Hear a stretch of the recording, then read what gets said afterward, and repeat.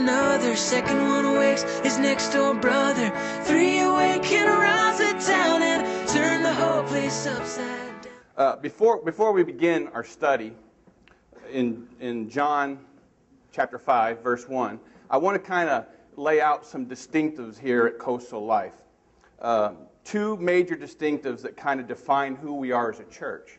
The first one is this in any mailing you get, anything you see uh, here, encounter, equip, and engage is the first distinctive, distinctive that defines who we are.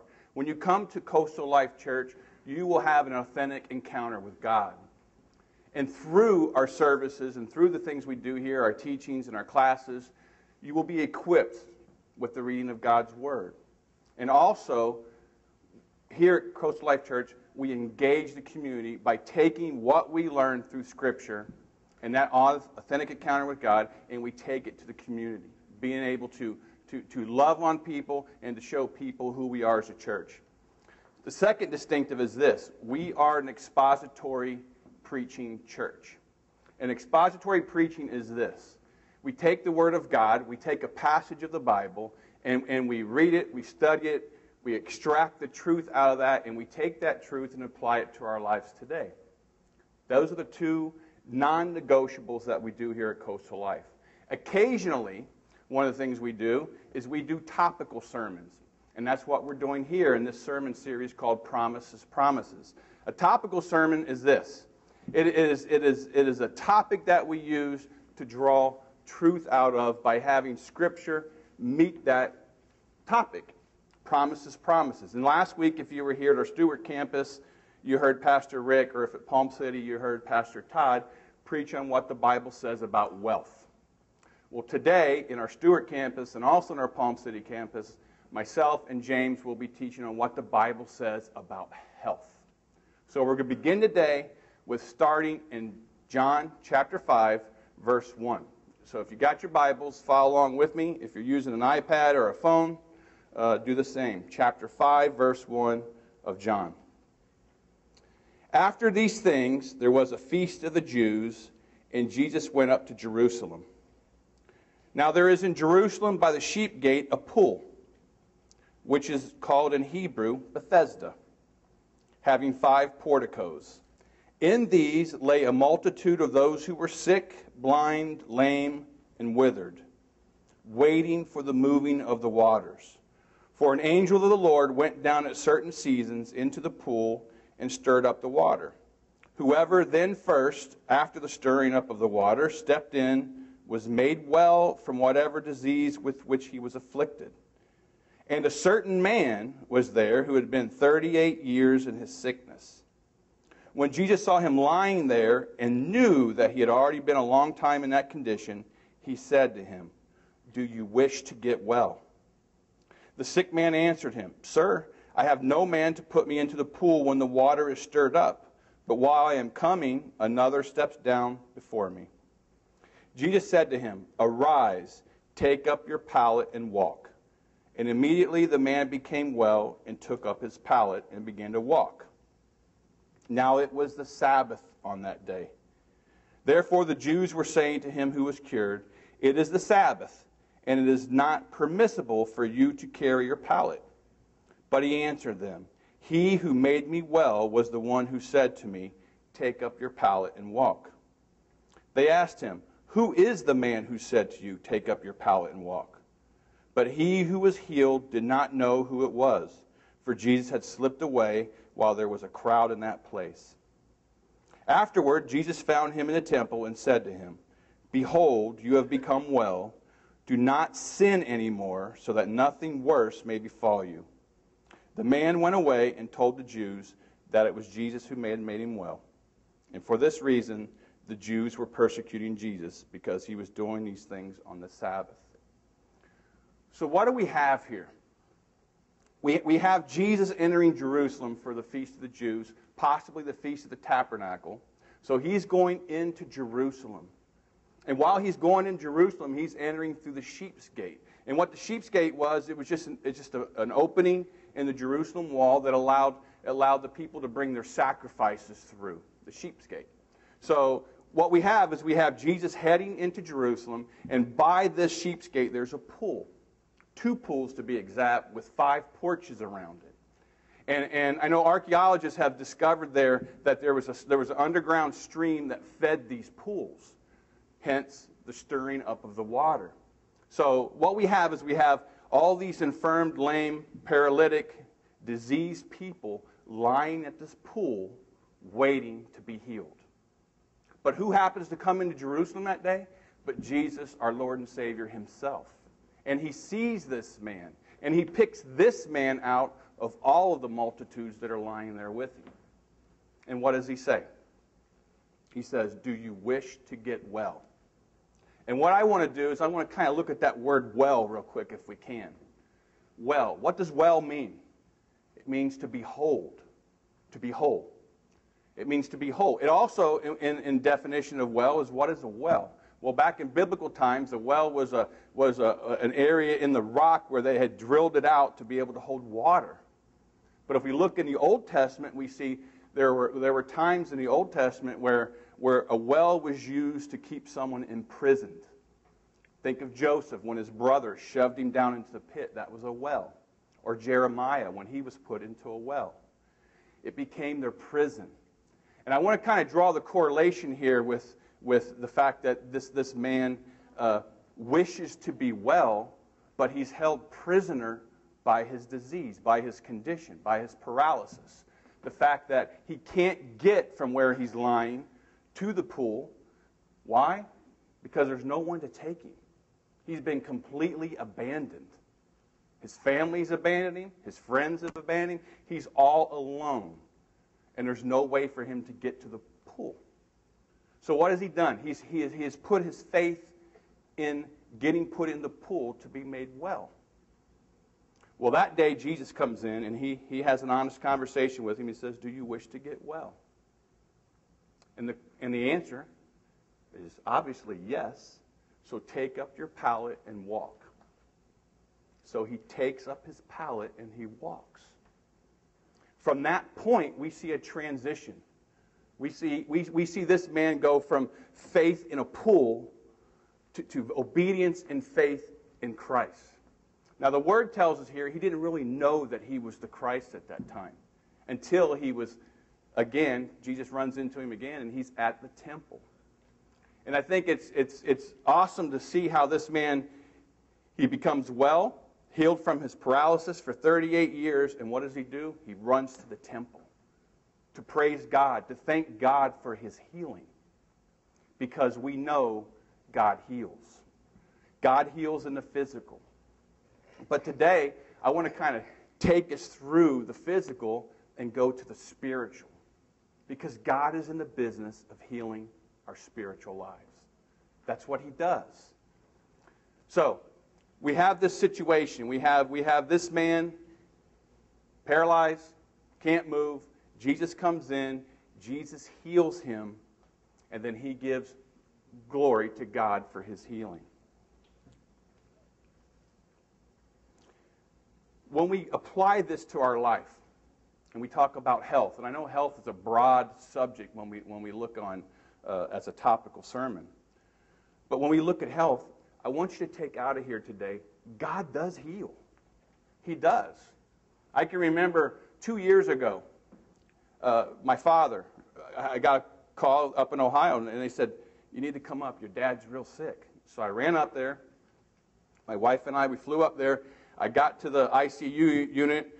I come to find out my dad has cancer. He has uh, a malignant tumor in his colon. And um, he has a blood disease and pneumonia to top that. And, and I know my wife and I were thinking, gosh, we just, we, we just need to really get in there and just bathe him in prayer. Bathe him in prayer. Anoint him with oil and pray for him. The surgeon came in and he said, I can't, I can't operate on your dad, Joe, because he's sick. He's too sick. He's got pneumonia and this blood infection. So we prayed. Two days later, my father woke up, no blood infection and no pneumonia. God heals.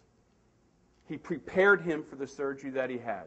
Now, my dad, mind you, had colon cancer, six months of extreme chemotherapy, a rough, rough go with it. But God gave us 18 more months after that to spend with my dad. My dad passed away December 3rd, 2011. But I can glorify and honor my God today because I've seen him heal. I've seen it. He heals the physical. But the most important thing I want you to understand today is the transformation between the physical and the spiritual. During that process in the hospital, my dad accepted the Lord. And today he's in heaven because God heals our spiritual. So let's look back at this man. Jesus heals him. He tells him to pick up his pallet to walk. It's the Sabbath. Every good Jew knows from the law that you do not pick up your pallet and walk on the Sabbath. It's against the law. So he defies the law. He, he transitions, puts his faith in Christ, and he picks up his pallet and walks. And then he honors and glorifies God. 38 years this man is infirmed, sick, in his misery. But he's whole. He's made whole because Jesus saw him. Throughout all those people, Jesus saw him. What can we draw out of this story when we're talking about health? The first is this the misery that sin has brought into the world. And I know Romans 8 talks about the fact that creation groans and about the futility of man and the fact that um, part of this, this process is we live because the fall of man, back when Adam and Eve disobeyed God, because of that, we are decaying. Our bodies are decaying. Our lives are getting, you know, much harder and harder to, to, to, to stay healthy gene mutations. Scientists tell us all the time all these different diseases that are coming down the block. And that's just because of the futility of man and the fact that this happens because of sin. So we see this through Scripture. Um, we can see that Jesus Christ exhibited mercy and compassion for this man. But he only healed him that day. All the other people that were there, he, he didn't heal them. It doesn't mention that in our text. But God, Jesus incarnate, healed him. And he not only healed his physical, but he healed his spiritual. My third point we are taught this in Scripture, and we, were, we are taught this in our lives. There is recovery from sickness. James 5:14 says this, "Is anyone among you sick? Then he must call for the elders of the church, and they are to pray over him, anoint him with oil in the name of the Lord. And the prayer offered in faith will restore the one who is sick, and the Lord will raise him up. And if he has committed sins, they will be forgetting, forgiven him. See, see, God heals our bodies, our hearts, and our minds. The whole person.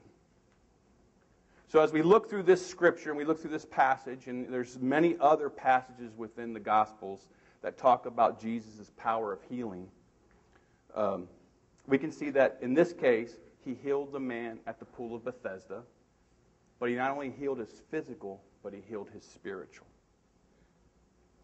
And through the process of healing, just like in my dad's case, just like in what I've witnessed as a pastor, and I'm sure of what you've seen with some of your friends and family in your lives, God is glorified because of the healing. But what about when God doesn't heal? That's the question we all have today. I know. I have it. Why, God? Those are the why questions. I know you've heard them. You've said them probably. God, why me? Why did I have to get cancer? God, why do, I ha- why do I have to deal with chemotherapy now? Why do I have to have radiation treatment? Why do I have to have heart disease? Why? Why, why, why? Those are the questions that we say as human beings. Am I right? Have we said those questions? Have we said that question here in this room? Why? Why God? Well, God answers those why questions with, uh, with what I would call a who answer. And the who answer is always directed back to Jesus Christ himself. Jesus says, I am the way, the truth, and the life, and no one comes to the Father but through me. So our why questions, why, why, our, why maybe our prayers weren't answered at that time, become who answers. Um, I, I, know there's, there's times in, in our lives when, when we look and we say, hey, you know what? how's come this happened to me? How do I get through it? How do I deal with sickness, with, with infirmities, with, with addictions? All these things that compound us in our life. How do we deal with this? And God, why are you not answering my prayers? Well, I'm here to tell you today God does answer prayers. And you're going to hear three answers. Three. The first one is yes. The second one is no. And the third one is not now. God does answer prayer. And I want to be able to share with you today uh, something I feel is like very important because these why questions sometimes cloud our vision. It it, it, what happens is we, we tend to focus on, on, on, on the situation and where we're at. We end up, unfortunately, becoming self centered through the process. And, and our who answers, focus vertically on God, helps us to be able to get through what we're dealing with in our physical health. And in the process, because of our physical disabilities or whatever we're dealing with, God is able to be glorified through that. So, one of the things I wanted to do today is I wanted to be able to share with you a personal testimony of one of our coastal life family here that I think best exemplifies when God doesn't heal. So follow along with me as I read this. I think this is very important. I am reminded this month, March 2012, of how blessed and fortunate I am. 36 years ago at Upstate Medical Center, Syracuse, New York, I was diagnosed with Lou Gehrig's disease.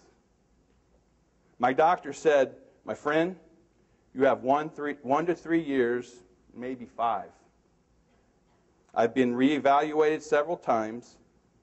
Billings Hospital in Chicago, the VA Hospital in Gainesville, Florida, and Massachusetts General Hospital in Boston.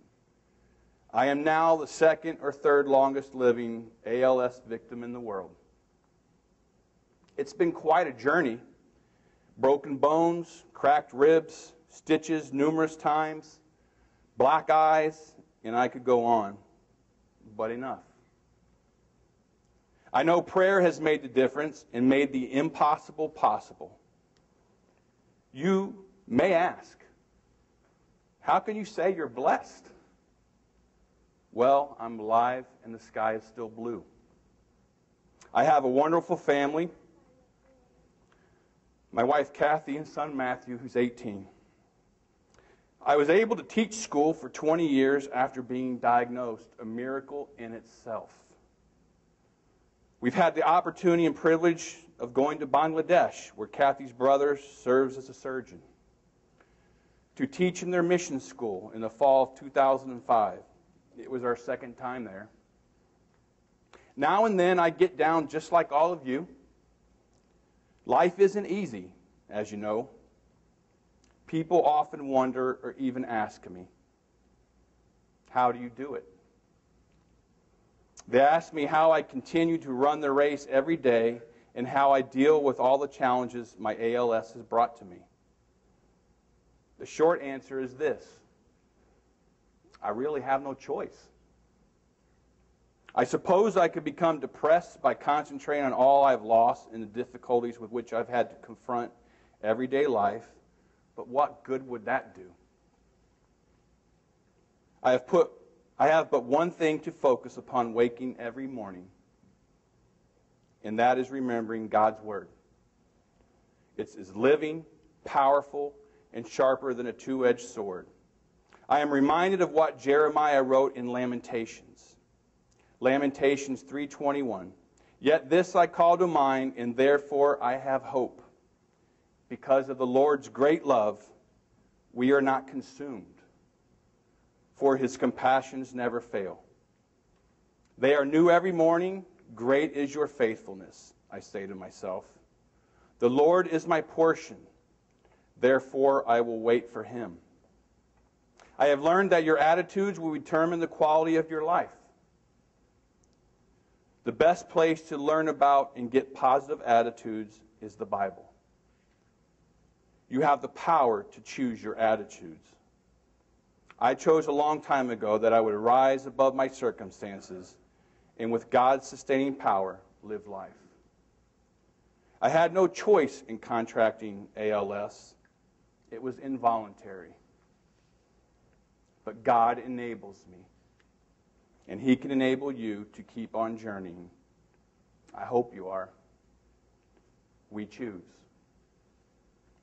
I don't know all you may be facing right now, but I do know that without Christ it is impossible, because with Him all things are possible. Signed, Journeying On in Hobe Sound, Florida, because He lives. Dick Wilson.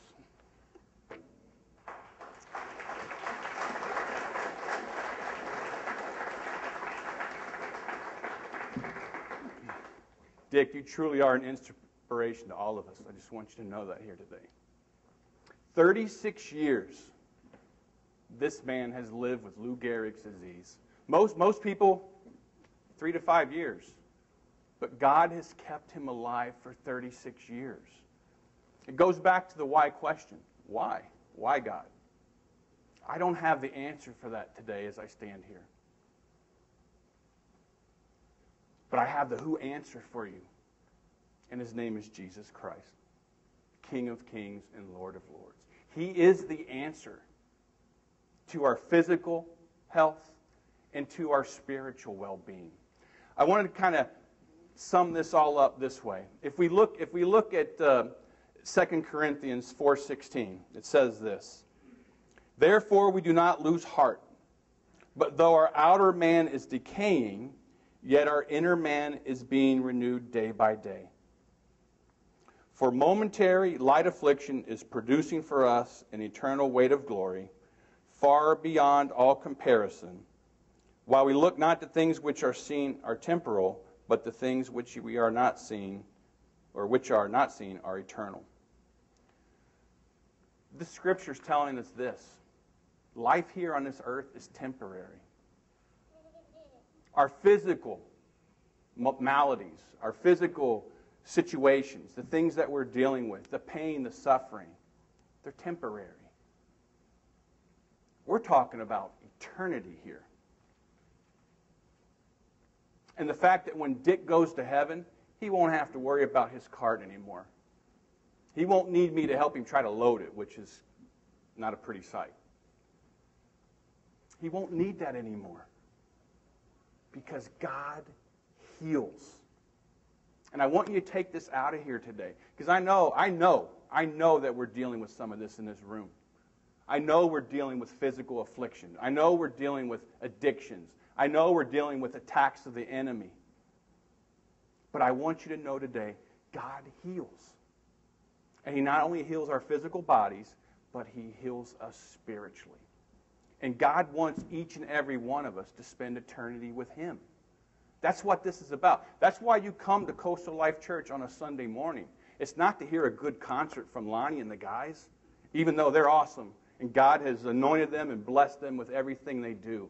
What it is, it's to come and hear the gospel message. It's to hear the things that God has done to transform and change hearts. And Dick Wilson is the epitome of that. Because although he's in pain, he suffers through his, his illness for 36 years now, right, Dick? For 36 years, he has suffered. But through Dick Wilson's life, God is glorified because people see Jesus Christ through Dick Wilson. And that's the message today. I mean, it could be a broad subject, health, but when I, when I think of health, I think of spiritual health and what God wants for each and every one of us. God made us all for one reason and one reason only to be obedient so we can be blessed by Him. That's it. But in the Garden of Eden, man disobeyed God. They ate from the tree and disobeyed him. So he cast them out of the garden. So, what is this? This disobedience, what does it get us? Death, decay, physical ailments. But God loved us all. He loved every last one of us so much that he sent his one and only son. John 3:16 For God so loved the world that he gave his one and only son that whosoever whosoever folks mankind is the whosoever we are the world we are the people that Jesus came to save and how did he do this he came as a man he lived life on earth just like you and I I'm sure he got tired of walking miles upon miles. I'm sure he had backaches just like all of us. I'm sure he had headaches. He lived life like a human being because he was a human being. He was the God man, he was God incarnate. And because of that, because God sent him on his mission to redeem us, he went to the cross willingly. And he gave his left hand, his right hand, he gave his feet, and he willingly died for you and I so that whosoever believes will have eternal life, the spiritual. God is concerned for your spiritual lives. So you might be here today and you're thinking, what's this mean for me? It means this God loves you, and He doesn't want to be separated from you. And sin separates us from a holy God. We can't stand before Him in heaven righteous without having our sins punished. And Jesus did that for us. That's the gospel message. He came and He died so that you who believe may have eternal life. That's the message here today. It's the gospel message. And it's the message that you will hear whenever you come to Coastal Life Church. Because God doesn't want to see your physical interrupt the spiritual. He doesn't want to see you take your eyes off of the prize. Paul says it like this To live is Christ, to die is gain. That's the prize. The fact that when we die, we go to heaven. We stand before a, holy God, and, and our sins have already been punished. We don't go punished because God already did that for us. So you could be in this room today and you could be thinking, Pastor, I, I don't know how I can do this. It's, it's tough. You don't know what I'm going through. No, I don't know entirely what you're going through, but I kind of do. It's the human condition. It's the way it's supposed to be. We are decaying, we are dying. But God doesn't want to lose, lose us for eternity. So he offered his son. If you do me a favor, just I just want to take some time. Just close your eyes with me. I, I just want to I just want to take this time to this morning to allow you guys to that that, that opportunity to, to just to go before the throne to have a heart to heart with God. To, I, I don't know where you are spiritually. I sense there are people in this room that are distant from God. They haven't quite made that decision to, to, uh, to ask God to repent. And this morning, I want to give you the opportunity to be able to just go before the throne, to repent of your sins, and to put your faith and belief in Jesus Christ.